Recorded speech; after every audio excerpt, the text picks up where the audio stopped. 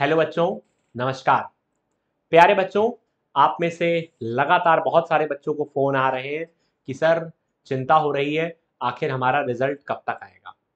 बच्चों, आप में से बहुत सारे बच्चे ऐसे हैं जिन्होंने नीट 2021 में बहुत अच्छा परफॉर्म किया और ऐसे बच्चों को लग रहा है कि जल्दी से एक बार रिज़ल्ट आए, स्कोर कार्ड क्लियर हो जाए, चीज़ें फाइनलाइज हो जाएँ और एकदम कूल हो जाएँ, उनकी टेंशन सारी समाप्त हो जाए। अब बच्चों, दूसरी तरफ़ बहुत सारे बच्चे ऐसे हैं जो एकदम बाउंड्री पर हैं। उनको भी लग रहा है जल्दी से रिज़ल्ट आए, ताकि वो जल्दी से अपने फ्यूचर की आगे क्या करना है उनको स्ट्रेटजी एक बार प्लान कर पाए।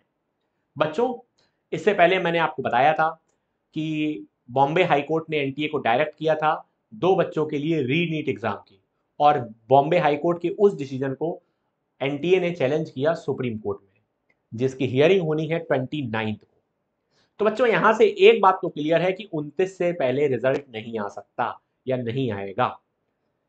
पर बच्चों, यहाँ पर एक अपडेट है और वो अपडेट ये है कि सेंट्रल गवर्नमेंट का भी कहना है कि result is ready but they are unable to declare it because of decision of Bombay high court यानी आपका रिज़ल्ट तैयार हो चुका है। आप में बहुत सारे बच्चे सोच रहे होंगे, क्या सर हियरिंग के बाद रिज़ल्ट तैयार होगा? तो ऐसे तो और भी ज़्यादा समय लग सकता है। लेकिन सेंटर और एनटीए दोनों की तरफ़ से ये हिंट है कि आपका रिज़ल्ट तैयार है और रिज़ल्ट इसलिए पब्लिश नहीं करा जा सकता बॉम्बे हाई कोर्ट के उस डिसीज़न के कारण। तो बच्चों, जैसे ही आपका रिज़ल्ट आएगा या इस हियरिंग के बारे में कोई अपडेट आएगी, हम लोग इस चैनल पर आपको प्रयास करेंगे सबसे पहले बताने का।